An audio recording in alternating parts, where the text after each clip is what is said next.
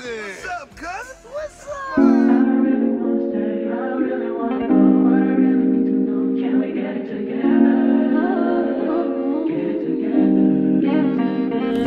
Oh my gosh, the weather today is awful.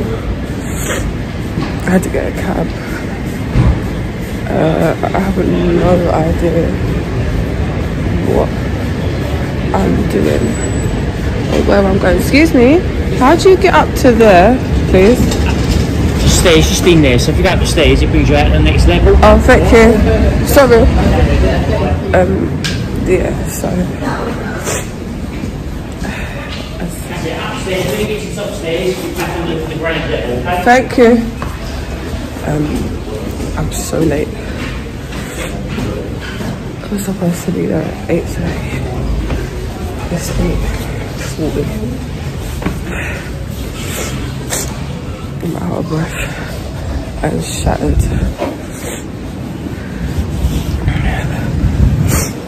But hopefully today is the day where I get shit sorted. Or should I say get something sorted?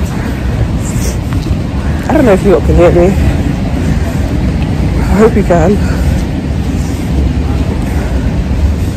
And I um, haven't received the pre-outpatient letter. So I don't even know what to expect. I haven't eaten anything. Um, just in case. And I am about to take out all my jewelry. I haven't got nails on. Uh, so, so yeah, I'm here. Let's see.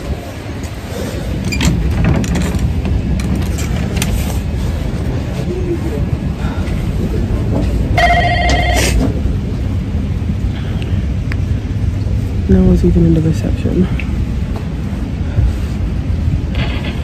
I have an appointment. I- Sorry, I have a. Oh, that's slippery. I have an appointment. Yeah. Um, it was at eight thirty. Okay. I was Yeah, no stuck in traffic. Okay.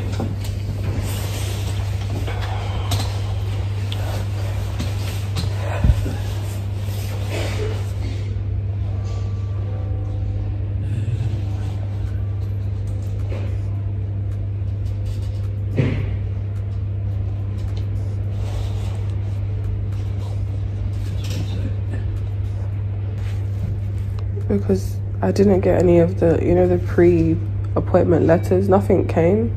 Okay. And what they're doing is injections, nerve injection. I moved it from one screen to the other. When I move it to the second screen, it doesn't retain some of that information, but I can find out for you. It's not a problem. Thank you. Uh, on the second screen, it doesn't do that, but mostly sort of nerve blocks. Mhm. Uh, where an injection is, if nerves are causing problems in a in a bone area, it may to kind of deaden the nerve. Okay. and I'll, I'll find out for you. Yeah, yeah. Thank you. Just follow me. Yeah. Even he doesn't know. Oh my god, this is so scary. Um, I got a phone call to Oh, yeah. tell me that this is the time available. All right. And then- all right. And then yeah, I yeah. received a text message um, that just has the standard stuff because the lady said that the full letter would get Yeah. sent and the full letter didn't get sent. So I don't. I'll find out for you. Don't worry about it. Just take the seat. So Just here. yes, please. Thank you.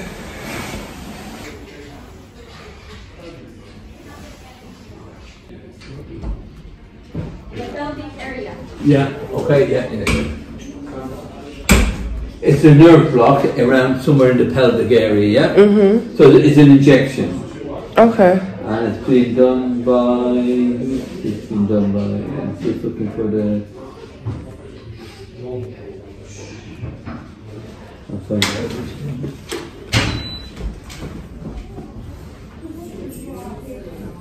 The Katari is doing it. Okay. Good morning. I suppose you have a question, loads of questions. Yeah, because I didn't get any information. I don't know like what I'm, s- if I was supposed to eat, if I wasn't, so I didn't eat. Um, Oh, okay. it's fine. So, but are you happy to with the procedure? The, I knew it was today. I just didn't know any. Like what kind of it? It's fine. Yeah. Okay, so my name is May. I'm one of the nurses here. You we can just go inside. Mm-hmm. I'll admit you, and we'll wait for Dr. Katari. Okay. Okay, and then she will see you, and she will consult you for all the for all the for the procedure, and that's the best time for you to ask questions. Oh, so she'll explain everything. Yeah. okay, yeah, explain that's fine. everything. Go. Sorry. It's fine. Yeah. It's just, I mean, this- I think it's being done here, but it's like a room full of like six chairs. I don't know what's going on. A few moments later. How many you can Oh my god, I feel so dizzy. Okay. I'm gonna pass out. Um, I wasn't allowed to record in there. Also, this is your first time like having it. Yeah. But, um, I feel internally numb.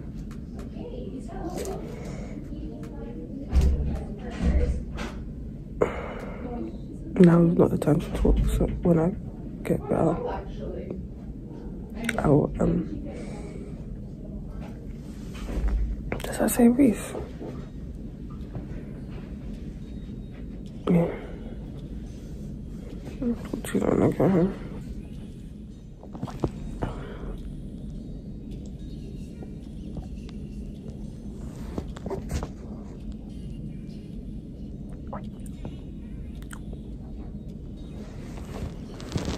me hot chocolate. To get my sugar, up. Give me biscuit.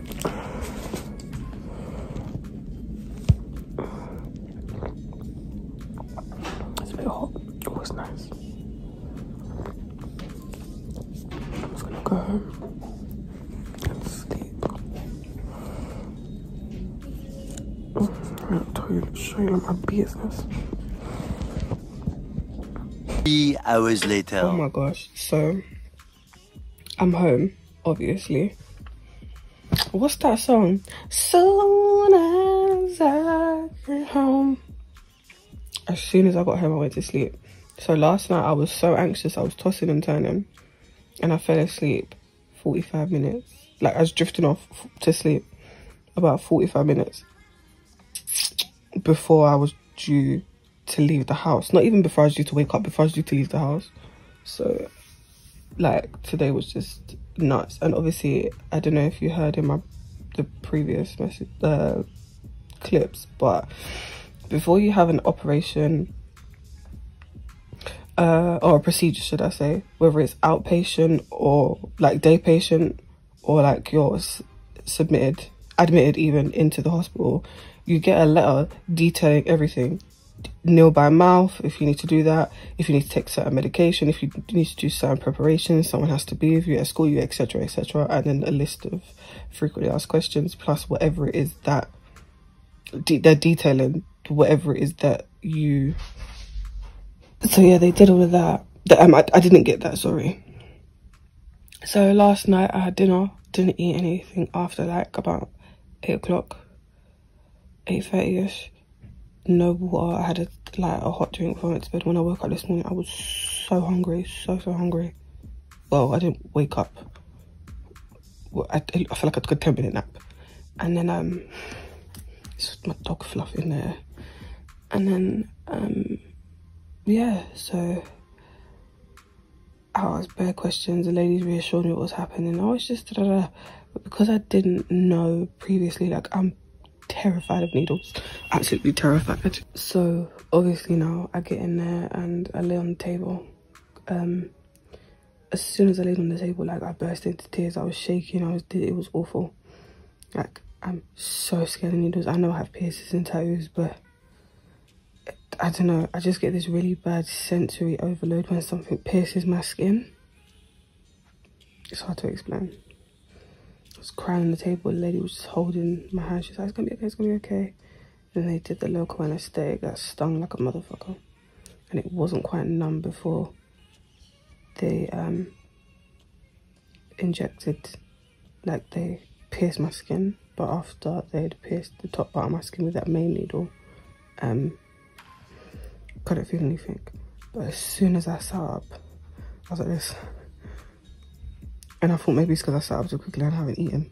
You know, us anemic people, we like to be seeing stars when we stand up too quickly.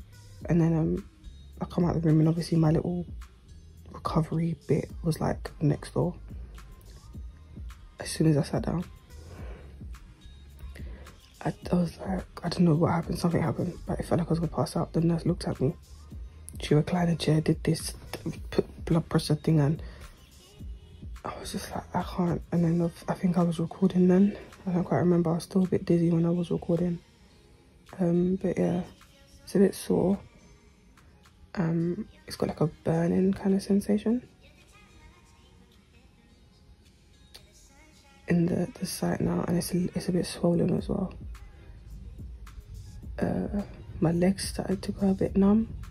It's still a bit numb, like inside of my thigh. I can't explain it because they injected a nerve, so like the inside of my thigh is a bit numb. Like internally, I can't explain what I'm trying to say. Like if you felt that, then you know what I'm talking about but um it's so far so good i literally came home and slept oh someone's at the door so today is international women's day per um i don't know how what's it been like two weeks since my injections i got really sick just getting over a chest infection so if you hear a little wheeze every now and again excuse that um what's the update? I had an update. I had it all planned out in my head and I just can't remember what it was. Uh, so I am like, it's enough time for basically the injection to settle in. Settle in, do its thing, whatever, you know what I'm trying to say, like to start kicking in and working efficiently. The, I would say the pain has decreased by about, that was such an ugly face I pulled. 60 to 70 percent which is what the the doctor surgeon person was aiming for anyway that's what she said um there's some days because like i don't feel as much pain i'm not concentrating i'm not bloody passing out because of the pain there's some days where like the pain pushes through if that makes sense I don't know if it makes sense. Like, it, it peaks, like it just shoots, like, like, bitch, I'm her, kind of thing. Um, and I'm like, oh, but then I realized how much pain I was actually in before having the injection. And to me, that is so mind boggling. Like, it's so crazy. Because I was really living a shit quality of life and I'm there firming it and putting a straight face on and because I was always told like there's nothing wrong with you or you get over it, you're exaggerating. And I'm like, okay, maybe I'm just being a wimp kind of thing. Obviously that was like back in the day, not so much now because people around me kind of understand. Well, yeah, they kind of understand like what's going on. They don't understand fully unless they're going through it. Excuse me. I'm sinking further and further into the bed like let me sit up like I've got some sense. So yeah, so I've just been chilling, um, slowly going back to work. And, you know, I got a different job elsewhere. So anyway, that's not the point of this video. So today, obviously, like I said, it's International Women's Day. It's like one o'clock, no, 11 o'clock, sorry, in the morning. Had it dusty. I don't have my wig on. My edges aren't done. This is how I'm coming to you, you know. Um, but yeah, I wanted to do a post on Instagram. But every year when it comes around, because obviously March is like endometriosis awareness month, I write something and then I go to post it and then I get so anxious and scary and I just delete it. And I think I was on it this year. I was really on it. Like I had the post, I had the pictures, like carousel or whatever they're called on Instagram. And this video is supposed to be up before the end of March, but knowing me, I'm a chicken out and not do it. but you will see eventually, obviously, whenever you see it, you see it. But just know this is the date that I recorded it and the month that it was intended for. so yeah, but um, I think for me, like, there's just so much going on right now with women's health and women period and you know like studies and statistics and changing of medical literature and definitions and goodness knows what else. Apologies i need some coffee. Yes. This is iced coffee that's this big. Mind your business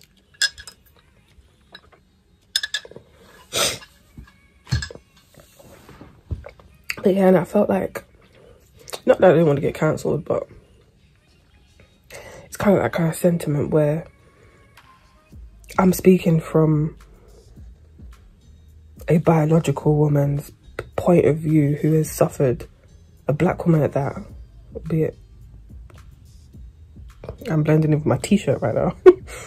A, a black woman's point of view dealing with medical neglect or medical racism or whatever it is you want to call it. Dealing with discrimination basically when it comes to her health issues. And obviously i don't want to take away from anyone else's plight and anyone else's struggles.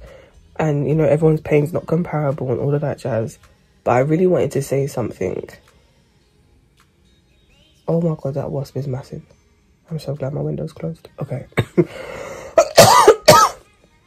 I really wanted to say something, very much something on, like from my point of view, but I just, I don't want to say I chicken out, I just thought now is not the time because I don't want the important, not the important message, but the important information that I have to put across. I don't want that to be overshadowed by BS. And it seems like every year so far that I've gone to post something, there's some there's some BS in the mix. Like why is that? I must admit though, even though I still have issues with the forums and all of this other stuff, and I keep saying I'll talk about it in another video, but every time I go to start recording, I get really angry and I just have to stop because that's not me or my mind set anymore, if that makes sense. Like, I'm not really an angry person anymore, and I don't really want to put myself in that in that position to slip back. But um, I must admit there was like a, a Channel 4 documentary about endometriosis and there was I think there was one black lady and one Asian lady and the rest were white ladies and I was like finally like some representation. It's not enough but it's a start kind of thing. Um more people I think are starting to be aware of it and fibromyalgia. I don't know if I've said that correctly.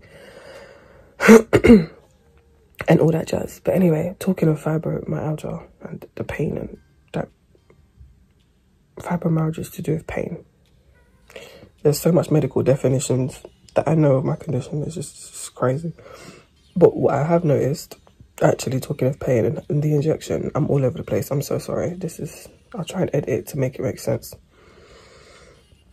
So now I've had the injection, the nerve blocking stuff, things, which by the way is a temporary fix. Um, I've noticed the fatigue part of my condition a lot more. Like before, like if you ask anybody that knows me, like personally, personally, I'm always tired. I'm always sleepy. Oh, Reese, how are you? Oh, I'm tired, man.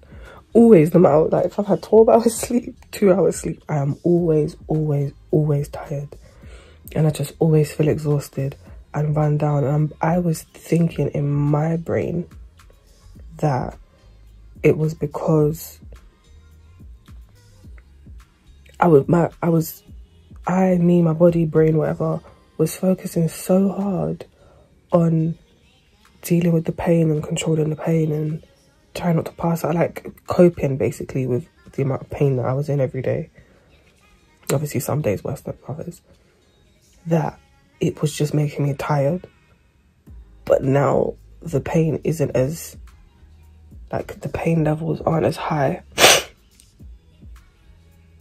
I've noticed that the fatigue wasn't because of my body coping with the pain. It was I am fatigued with a capital G. so I had to go back to the, the doctors and because I'm starting to know that notice that like I write a diary basically, not a diary, like a little notepad and just write things down that change day by day so I can keep track or I always have the notes app in my phone if I don't have the diary paper thing with me. Like I get a brain fog. Um, my speech is terrible. I, I just thought my speech was bad because I can't hear to as well as everybody else who is hearing. I wear a hearing aid. I'm deaf. Well, not fully deaf, but I'm I'm partially deaf. So I always thought that. Well, as fucking hell, look at me talking of speech and I can't speak. I always, no, not always, I thought that my trouble with my speech was because my hearing is deteriorating. Like, I was I'm, I'm partially deaf, but it's getting progressively worse. so I thought because, if you notice, deaf, deaf people can't, some deaf people can't speak, enunciate. No, they can speak. Like, some deaf people can't enunciate as well as hearing people, fully functioning hearing people because they don't hear, if that makes sense. I can't explain what I'm trying to say. Like, even like certain words I've been pronouncing wrong because I hear it differently. Do you know what I mean? No? Yes? Not that you guys will answer me. But anyway, so there's a lot of things I've noticed, and um, I have appointments to go back and try and figure out how to cope.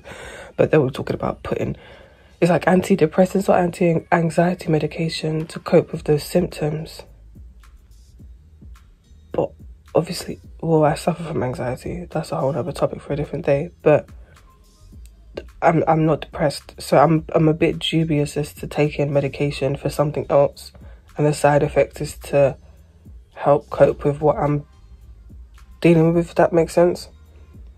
So yeah, I've got to look into that. It's a bit scurry. But, uh, oh, I buggies. I need to go put a wig on and look presentable. So, yeah, so the, uh, the medication is a bit of a scary one for me, I'm not gonna lie. Uh, I was on antidepressants at a point in my life. Oh god, not me, was starting to wheeze. And like years and years ago, for something completely unrelated to my medical issues. I was going through some things, man. I was going through some things. Um, but I didn't like the way they made me feel. And if that was the feeling that I got when I was actually going through some shit and needed the medication to stable my brain, um, I'm worried what it will actually do when I am mentally sound. Well, no, I'm a little bit insane, but in terms of you know depression and stuff like that, I am mentally sound, and I don't want that to be affected because I've worked so hard to get to the mental space that I am at now and today and have been for a while It's that I don't want to is my elbow dry why is it so knobbly um yeah I don't want it to affect or put me in a relapse or whatever the case may be I just I just I I'm too scary to even find out the possibilities, you know what I mean? So um we're gonna talk further about that. They still don't know when they can give me another laparoscopy, um, which is a bit jarring. Uh what else? That's it, I think. I think I'm I'm feeling fine, you know, I'm trying to not let it affect me. It did get me a little bit down for a while. And obviously certain things have happened and my body just doesn't want to cooperate and i get frustrated with myself because i'm like can you just go and do what i've told you to do. Legs work brain work with the legs. And my body is like no bitch you need to sit down. Take time. Let us heal. And then we move on. So yeah this is a the long fight that i'm fighting. Like i said this this vlog thing was a bit all over the place but that's just the reality of having a medical condition like mine. It is literally all over the place. One day you're fine the next three days you're in the gutter and then two days after that it's like nothing ever happened it's so up and down. I've got motion sickness. But if you've made it this far i'm gonna stop rambling now. Um i'm gonna go take a nap because your girl is tired and international women's day is all about us. So i'm gonna take care of me and i'm gonna take a nap after i've had my iced coffee doesn't make sense but whatever. Um don't forget to like comment and subscribe and i'll see you guys in the next video. Hopefully the next video will be a bit more cheery. Got some things planned. And yeah. See you